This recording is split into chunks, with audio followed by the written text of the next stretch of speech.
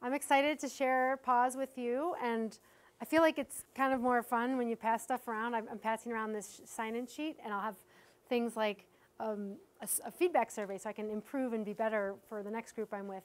And I'll pass the book around too, but we will, raffle, we will have this um, go to one of you at, towards the end in, in, um, in, some way. So I'm excited to share what I've got. Uh, but feel free to thumb through it.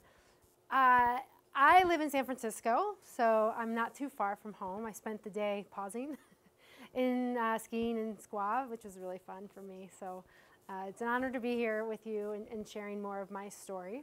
Today, our theme, as you can see, is learning the three, three, three strategies for techies, but that really means kind of a bigger umbrella for leaders and entrepreneurs and techies uh, to take high stress or overwhelm or burnout or not feeling so good, maybe you're stuck or in a rut, uh, into thriving. And it's actually possible. So just a show of hands here, kind of getting the feel for, for you guys. Uh, who here is an entrepreneur? All right, that's like at least half of you. That's great. And who would consider yourself a techie? like everybody, almost. How about um, a leader? Everybody's a leader, yeah. I'm a leader. We're all leaders in our lives, I think. Uh, and then, and then like other. there's always a good, there's always a, there's always a good way to uh, to frame that. Yeah. So, um, so yeah, go ahead and just like if you can raise one hand, and if you can't raise it high, just like raise it in front of you. But just go ahead and raise one hand, and if you can, extend your arm out, rotate nine degrees, give a high five, and say, "You got here. You made it." Good job. Good job. And Dennis made it to the front row. I'm like so thrilled. Nobody ever wants the front row, but I'm glad you're here. Uh, and so one of the things we'll be doing today, which I think is kind of fun, is uh, accelerated learning. Has anyone heard of accelerated learning? Yeah, so it's kind of like this way to learn and grow that makes it really interactive and embodying, meaning like we use our bodies and repeat stuff back. So I might be doing some weird stuff up here, but the idea is it's more fun and ideally uh, you get more out of it, I get more out of it as we go forward and engage. Cool. So uh, giving you a little bit of the, the, the state of, of what I'm talking about. As you know now, a little bit about me. I wrote a book. Uh, I live in San Francisco. I, I work at Google. Um, and we'll have plenty of time for Q&A at the end. But the idea is that everything I'm sharing today uh, is essentially based on my own experience from uh, burning out at Google. six years ago. So I'll get more into that when I share my story. But the idea is that the tools that I'll share, and I have, I have these three strategies, uh, you, can, you can actually implement these really quickly today, tonight, have your own pause plan. And uh, if I can do it, I'm pretty sure all of you can do it, and you don't need to take a, like I took a three month unpaid break. So, um, so that's the way we'll, we'll be rolling today. And just for a time check, because I, I actually forgot my phone. This was a funny story. I, uh, what time is it, Shwani? Okay, cool. So I know we wrap at 7, and we'll have time for Q&A, but uh, I forgot my phone. I, I drove up Sunday, because I, I, have a ski chair up in Tahoe Donner this year, and I was like, wow, I could either go home and get the phone, or I, I was about 20 minutes outside of San Francisco. I just crossed the Golden Gate, or the Golden Gate, the, um, the Bay Bridge. I was like, no, like this is me living my, my work, which is a di digital device pause. So I actually haven't had a phone, and I, and I took two days off of work, but uh, I was like really proud of myself. I was like, oh, yeah, I don't have to have a phone, but that's not always the case. And I, I did cheat. I had laptop use yesterday and, and today, so that was good. All right, so who here has ever felt like this woman in the last 24 hours? Keep your hands up. In the, in the last uh, in the last two hours, or who feels like this right now? Yeah. So I mean, this is this is kind of like how we live our lives, and I call it a state of being. So pausing, which I'll get into, pausing is a state of being. So will you turn to someone and say, pausing is a state of being?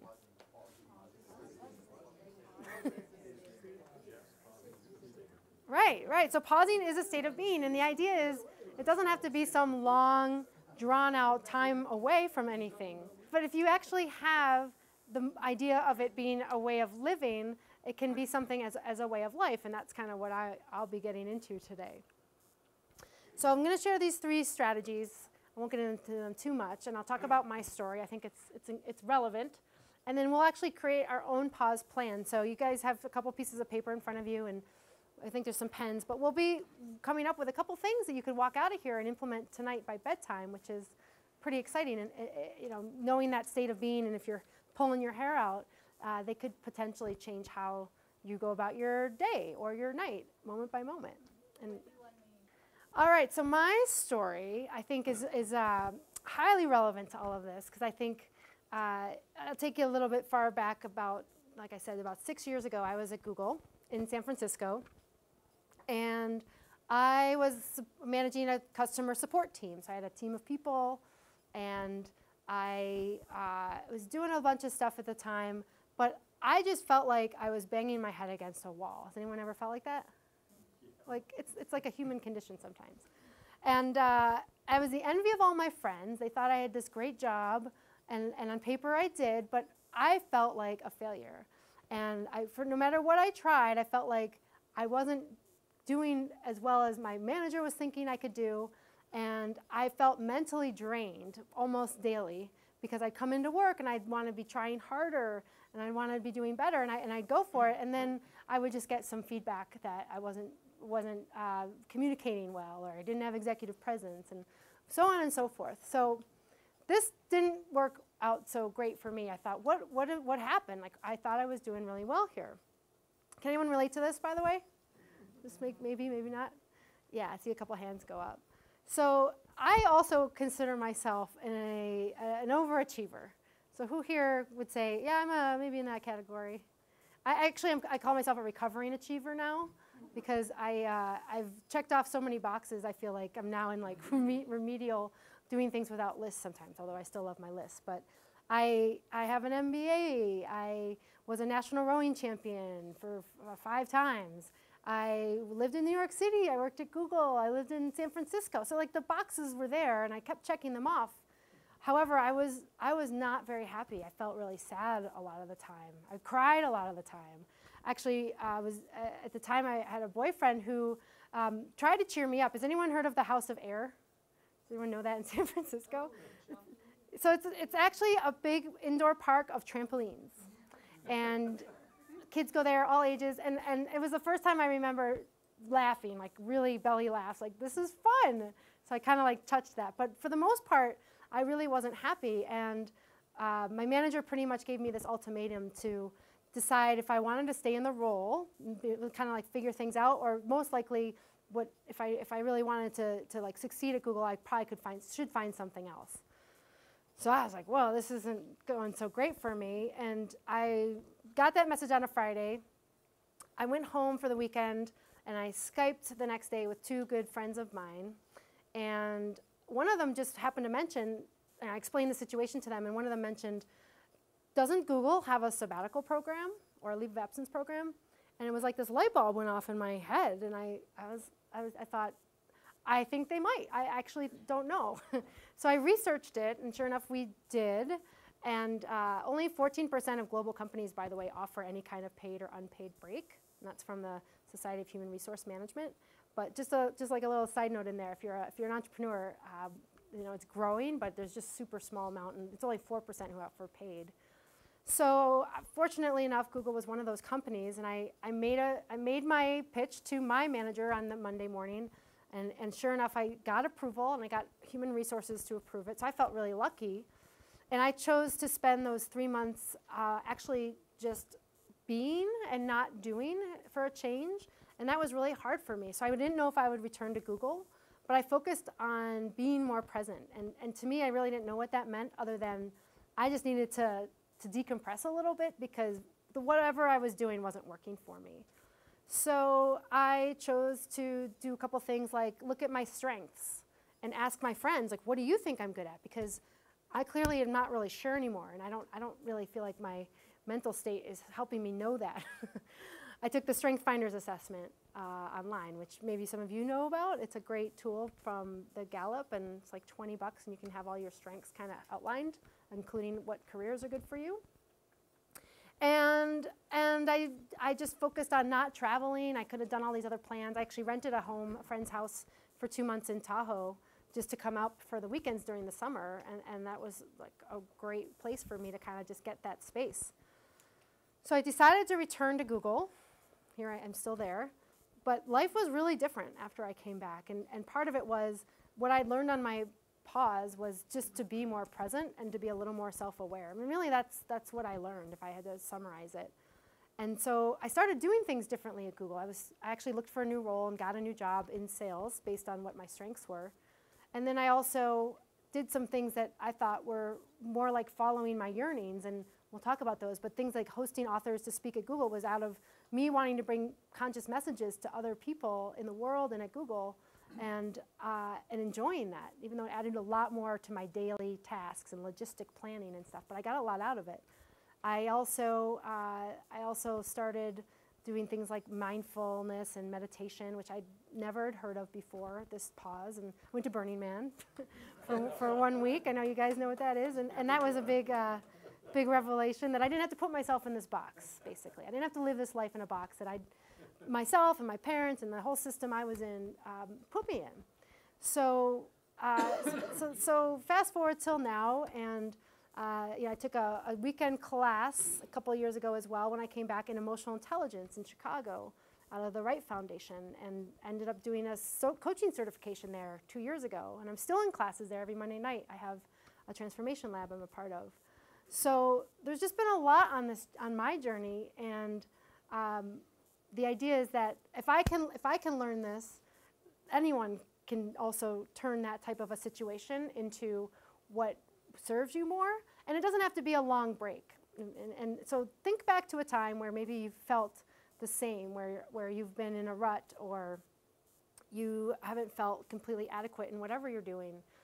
And, and that's, that's all good, but also know that uh, it doesn't have to be a big long break. You can learn these tools, and I'm bringing in the tools from the book. And I wrote the book after I returned to Google over a course of five years, doing it on the weekends and I felt like I really wanted to help people learn these tools that I'd been learning in emotional and social learning uh, and what I learned on my pods without going through some big breakdown or like a big catastrophic event like me being managed out of the business.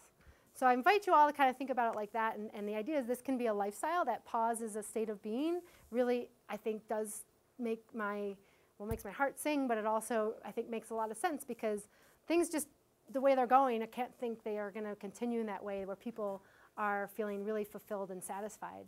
Um, you know, thinking about your own lives, there might be things in there that you're like, yeah, maybe this could be different. So that's a little bit about my story. And that brings us to the first key strategy, which is it's really not a not a um, a big uh, surprise, but knowing that pausing is okay. So, um, what's the first strategy, please? No, no, it's okay to pause. Very good. Yes. Good job. You just practice accelerated learning again.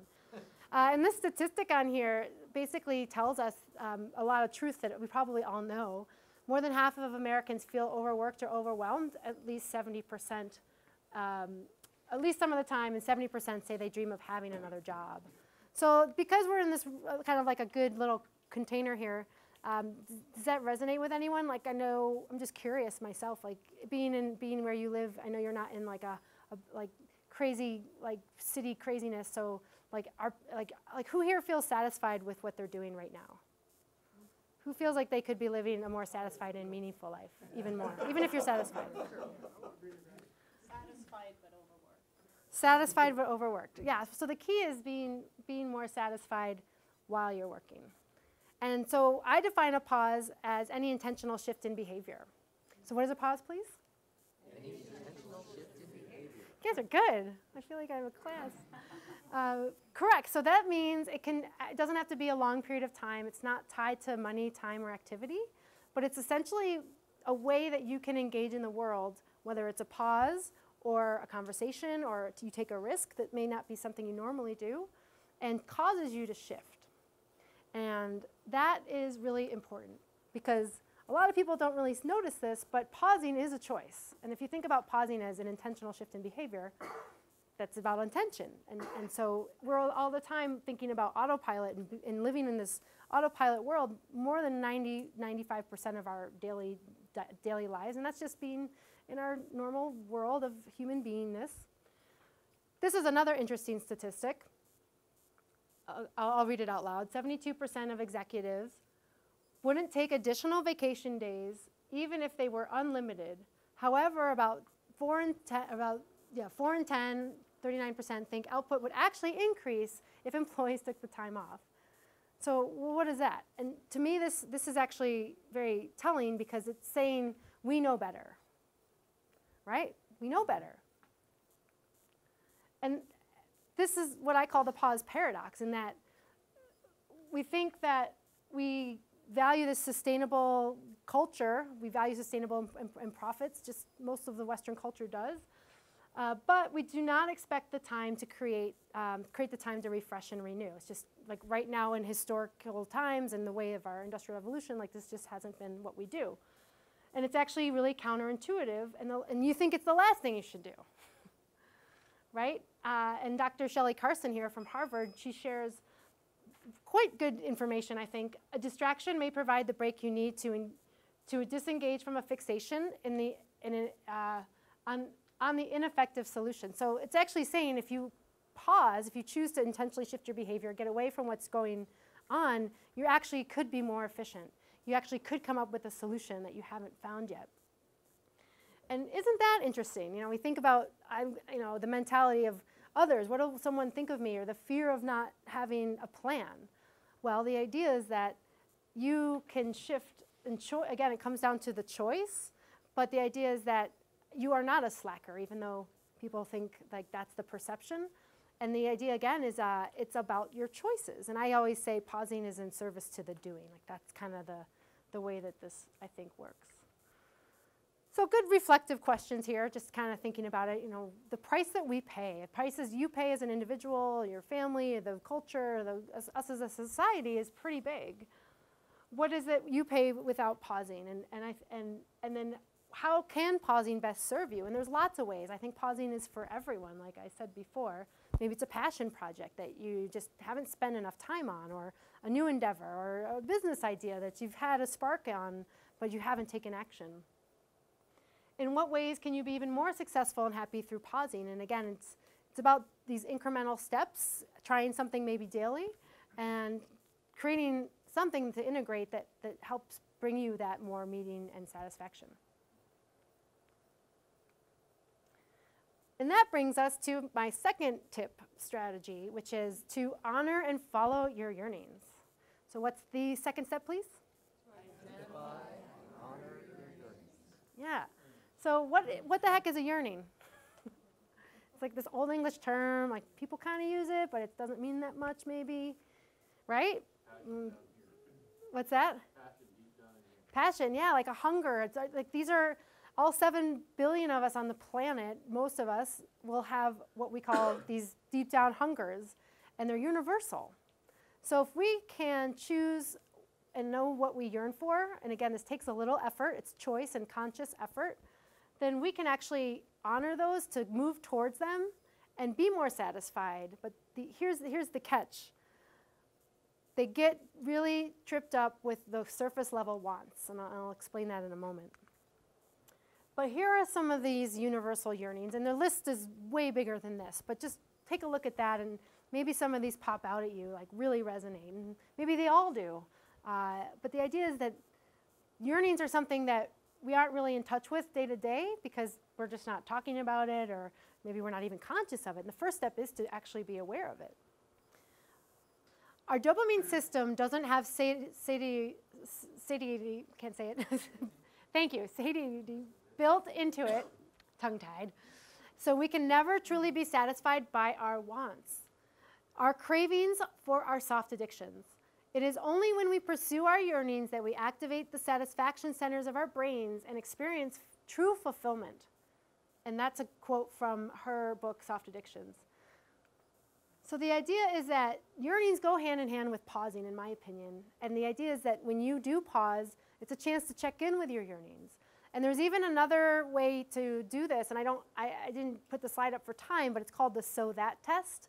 So if you're having trouble finding a yearning, because this is like a new skill we're building, right? We have to learn how to know what we yearn for. The so that test is to just start at any want. So um, if, any, like if, if anyone wants to volunteer a want, I'll take it. But like anyone out there, just like I want a new house, want money. Money's a great one because we all want money. So I want money. Okay, so then you say, so, so I want money so that dot, dot, dot. And you fill that in three times. You kind of dig down deeper. And by the third time, you'll get to your yearning most likely. So I want money so that dot, dot, dot. What? Do you want to volunteer? So that I can do the work I want to do. So you can do the work you want to do. I want to do the work I want to do so that dot, dot, dot. So that I can make a difference. I can make a difference. Oh, well, isn't that a yearning? You only needed two for that one, right? Um, so the yearning is to make a difference. And so once you can tap into that yearning, it's actually not about what and how you fulfill it, but if you actually engage to fulfill it, you can feel more satisfied, have more meaning, and this is a moment by moment opportunity. So these happen thousands of times a day, just like emotions in our body. And when we can actually be more aware of this, it will lead to more engagement at work, having more meaning, and avoiding all those surface level wants. I mean, they're still going to happen because we are creatures of habit and we love our phones and dopamine's triggering us and all of that. But uh, the idea is again, pausing is a choice and you can choose to shift your behavior intentionally. Does that make sense? So it's a very good key insight and um, something that's totally changed my life. So the third strategy is experimenting with what I call daily pauses. So in Pause the Book, there's all kinds of different pauses. Uh, there's there's a bunch of them um, that are even longer called extended pauses or forced pauses when you're laid off, but we're going to focus on the daily pauses today. And kind of this goes all back to that pause paradox and that always on isn't working. And um, I'm sure all of you know here from, from living in the area, like there's a lot of value from pausing, right? Whether you're out in the, in the nature or um, just away from the hustle and bustle or creating your own space is really important. And, uh, and I think this is a good, good data point as well. By distancing yourself from a challenge and taking the perspective of an observer, you can enhance your reasoning, leading to insights and new solutions that hadn't occurred to you before. And that's from psychological science. And uh, I think we all know this on some level, but once we see it and like we can like kind of register it in this, in this uh, cerebral capacity, it can change how we are in the world.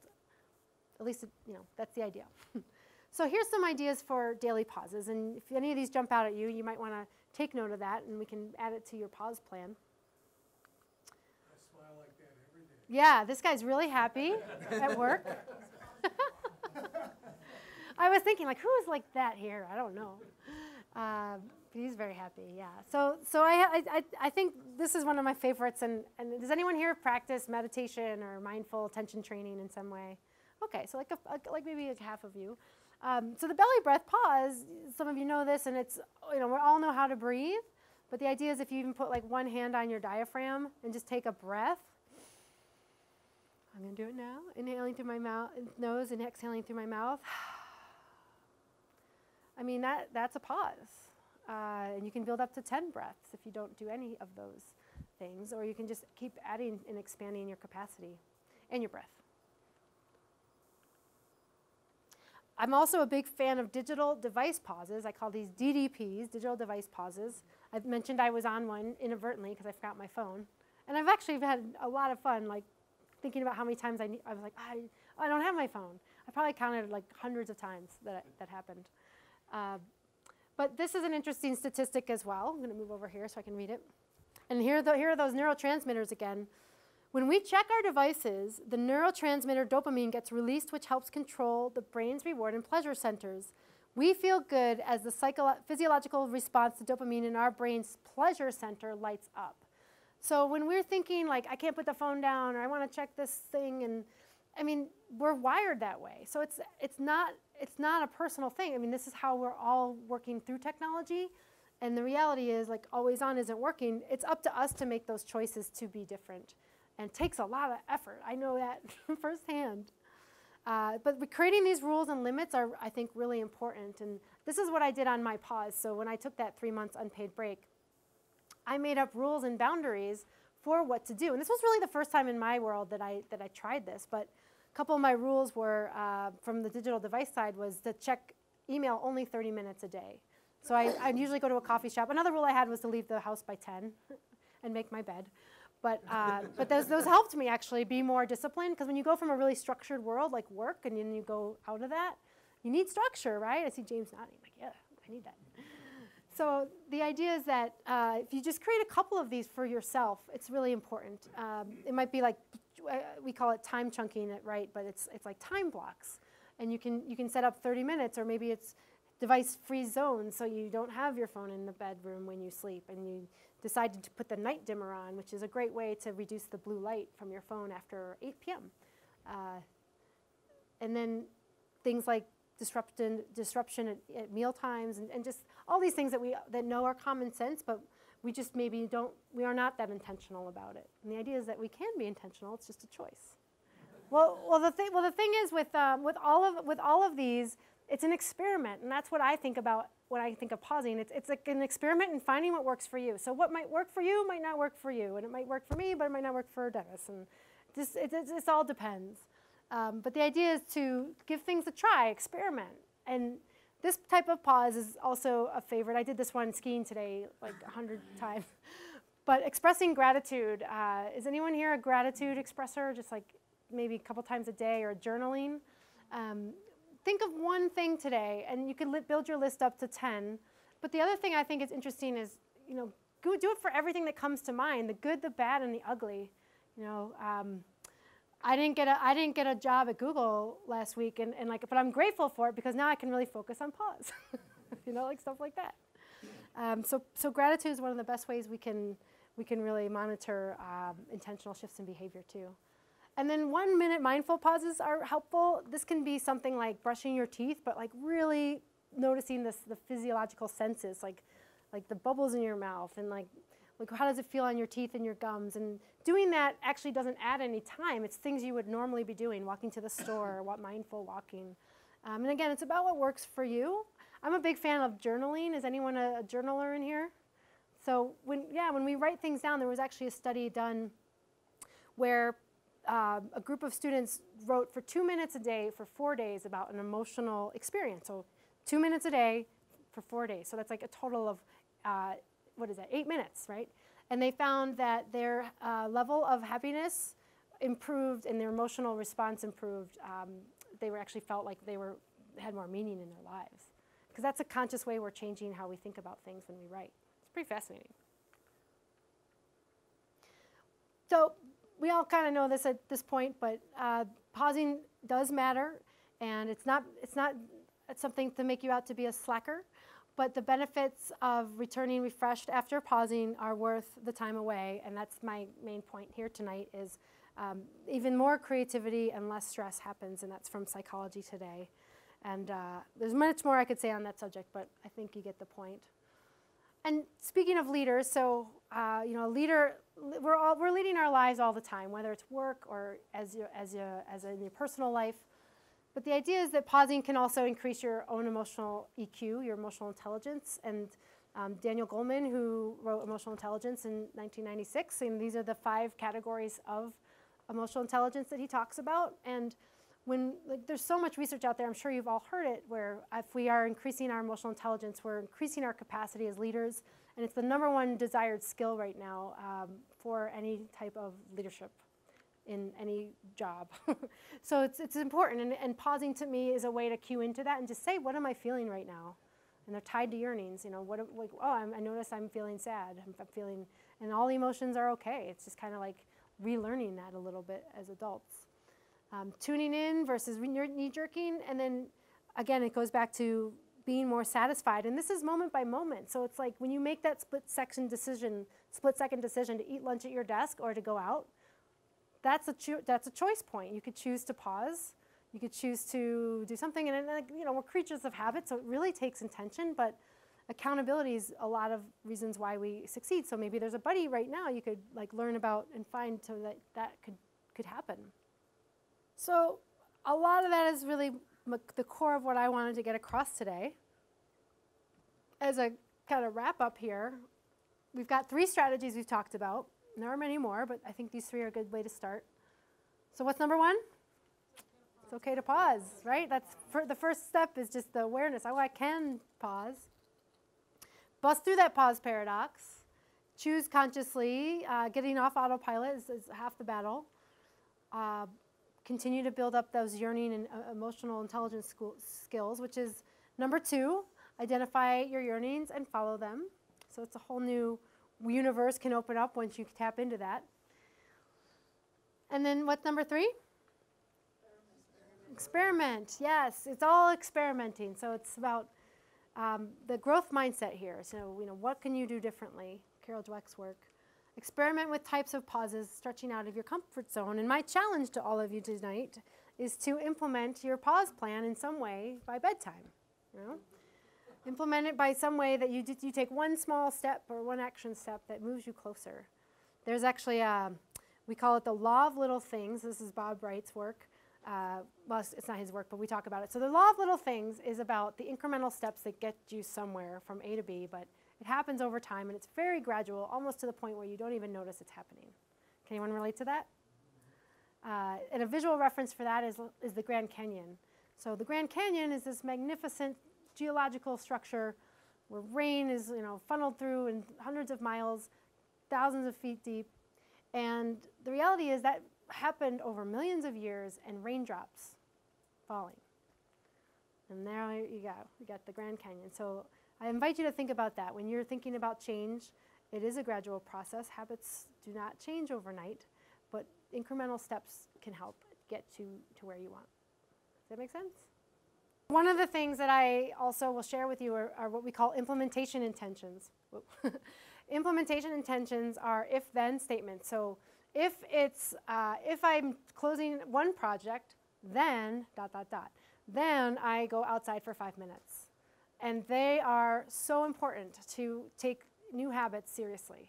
So uh, you could create an if-then or multiple if-then statements for yourself, and all of you, I, I challenge you too to uh, create one if-then statement to kind of take this to heart, so that you can you can implement it. But the idea is that let's say you don't do it. So um, if it's the end of a project and oops, I forgot I didn't do my um, my five-minute pause outside. What's the consequence? So give yourself a consequence.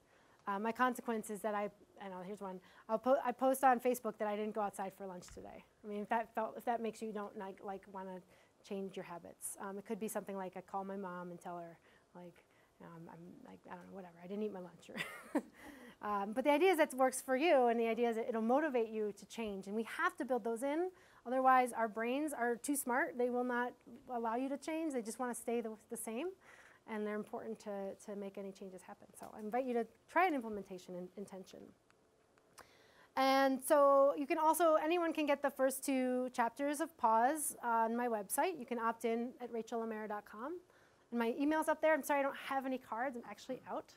Um, but you can follow me on Twitter and you can purchase Pause or um, the audio. It's also an audiobook and Kindle. I read it. It's exciting. it's in a studio for two days straight um, at bit.ly dot, uh, slash pause the book or just Amazon. You can Google that.